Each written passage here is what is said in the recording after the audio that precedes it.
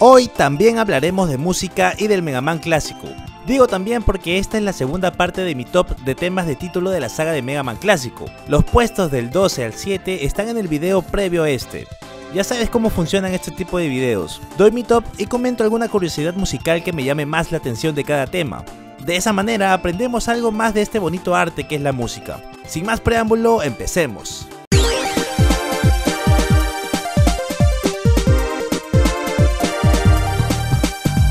El movimiento ascendente de ir desde el sexto al primer grado suena bastante esperanzador. Y esto lo han sabido aprovechar los distintos compositores que han pasado por esta saga, mostrándose en temas como el del intro de Mega Man X3,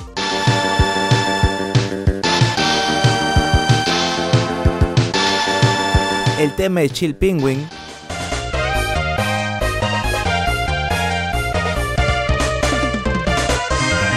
o el gran tema de Zero del X4.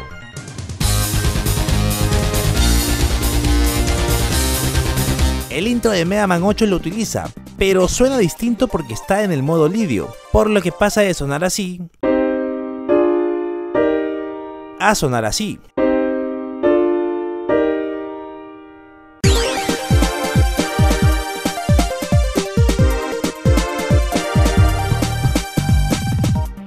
Porque la escala de mi bemol lidio tiene el cuarto grado elevado, es decir, a la natural en lugar de la bemol. Y al formar una triada desde el séptimo grado, lo que antes resultaba en un acorde disminuido,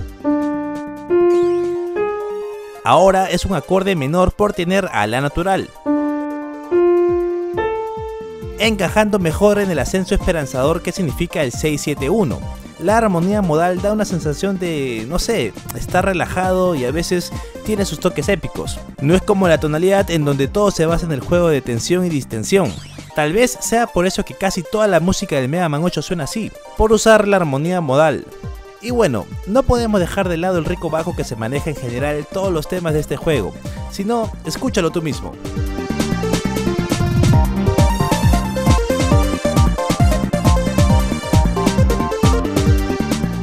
Número 6 en mi lista.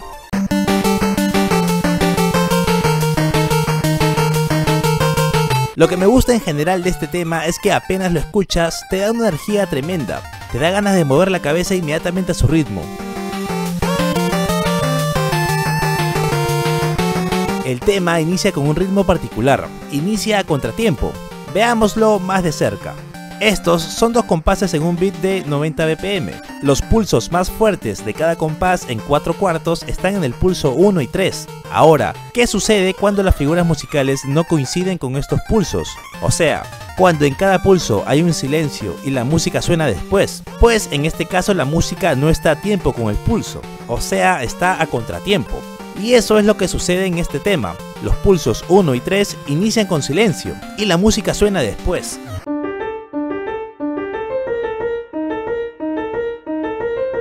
El segundo detalle que rescato de este tema es el solo pegadizo que viene después.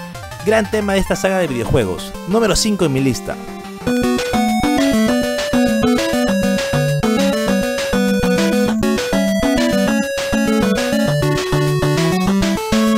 ¿Qué pasa con la armonía de este tema?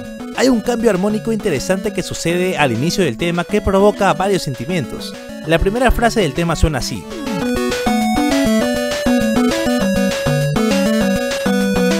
Estamos en Si menor y la armonía pasa por el grado 1 y 6 de la tonalidad.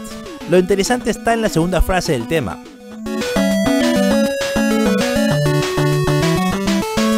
En esta parte nos vamos a la región de la tonalidad relativa mayor, es decir, de Re mayor. ¿Por qué digo esto?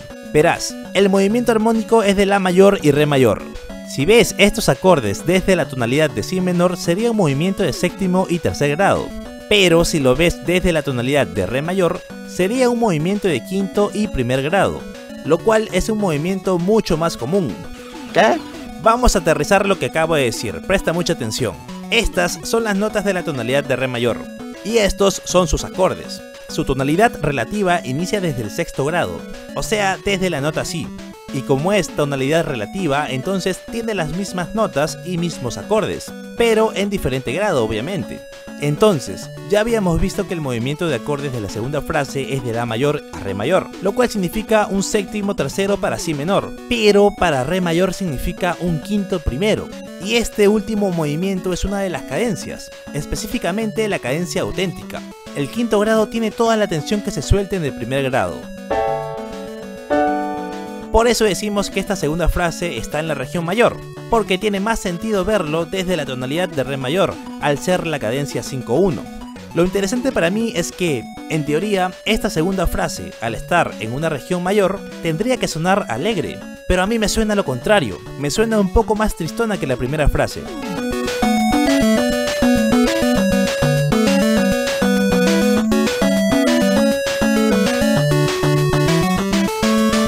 Yo pienso que es porque la primera frase en general es más aguda que la segunda frase. Si comparamos sus puntos altos, vemos que estos descienden de pocos, y porque la armonía está bastante adornada con disonancias melódicas que hacen un poco nubosa nuestra percepción de los acordes que están detrás. Gran tema que nos demuestra que lo que define el carácter de un tema no es solo la tonalidad, sino la dirección melódica y los adornos que la melodía tenga. Número 4 en mi lista.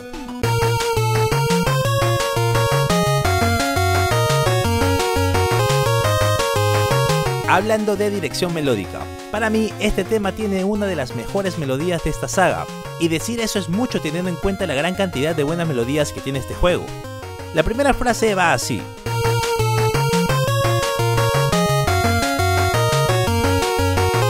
La dirección melódica es clara, asciende y desciende, comenzando y terminando en el mismo punto. Lo que me gusta de esta primera parte es que antes de llegar al punto álgido de la melodía, que es este Fa, tienen primer punto para el cual también se asciende. Entonces, este primer grupo de notas se dedicarán a llegar a Re y este segundo grupo de notas al punto más importante, que es Fa. Me gusta ese pequeño stop en el primer punto. Es como si la melodía descansara y tomara fuerza para seguir subiendo y llegar a Fa.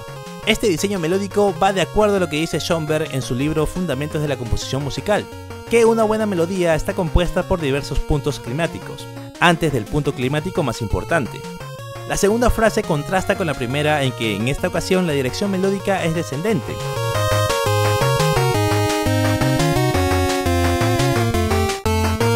Este simple cambio ya denota la diferencia entre ambas frases. Además, llegamos a Fa del primer espacio, altura que no había sido tocada antes.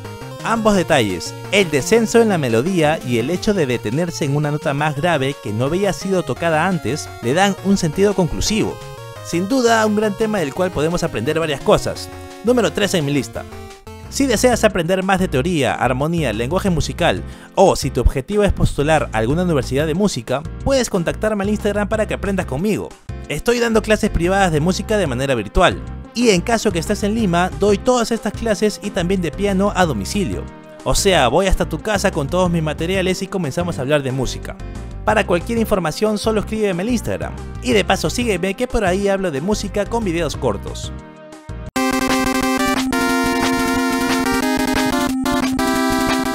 Creo que no me equivoco si digo que este es uno de los temas más fáciles de recordar cuando hablamos de Mega Man.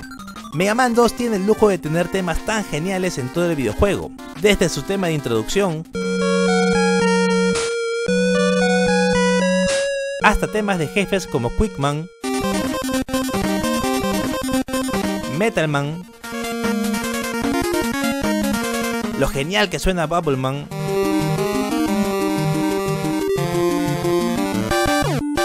y lo sentimental que suena el epílogo. Darle play a uno de esos videos de YouTube donde recopilan todos los temas de este gran juego, sin duda es un viaje directo a la nostalgia. De este tema solo quiero resaltar un gran detalle. La sección A inicia de esta manera.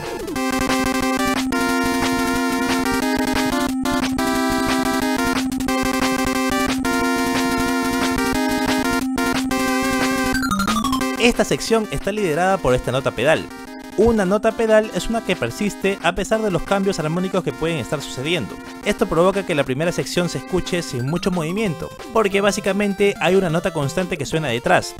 Se siente en general sin movimiento a pesar de la locura que está sucediendo en la melodía. Sin embargo, en la sección B sucede todo lo contrario.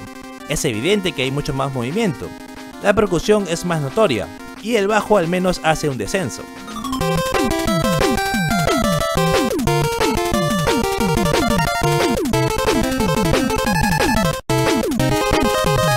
Número 12 en mi lista.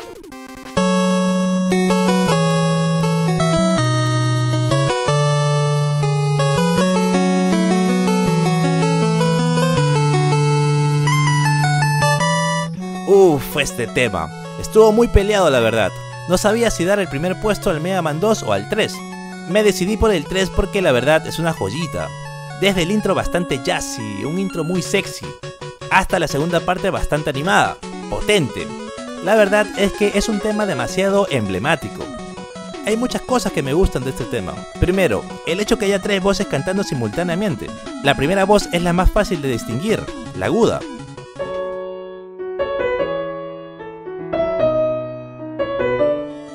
La tercera es el bajo.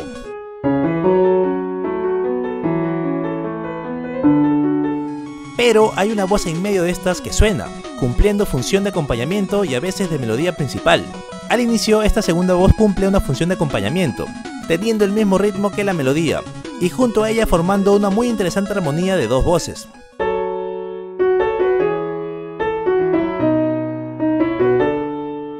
Pero es cuando termina esta primera frase cuando esta voz se independiza. Su ritmo se separa de la melodía principal, creando una contramelodía.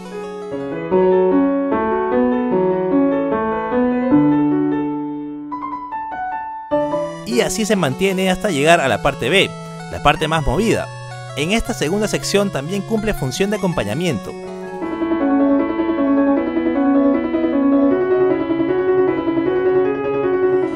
y de segunda melodía, que para ser sincero, en esta última parte me suena más a melodía principal, ya que la parte aguda tiene un ritmo más uniforme que podría sentirse como acompañamiento.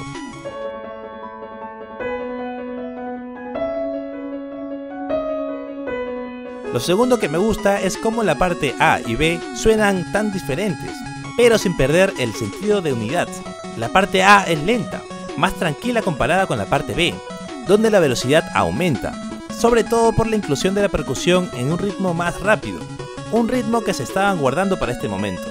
El tercer detalle va relacionado con el segundo, y es cómo diversos elementos musicales ayudan a darle personalidad a cada sección, haciendo que cada una sea bien distinguida. La parte A es, como dije al inicio, bastante sexy, y esa característica para mí la otorga las notas de adorno encontradas en varios puntos de esta sección.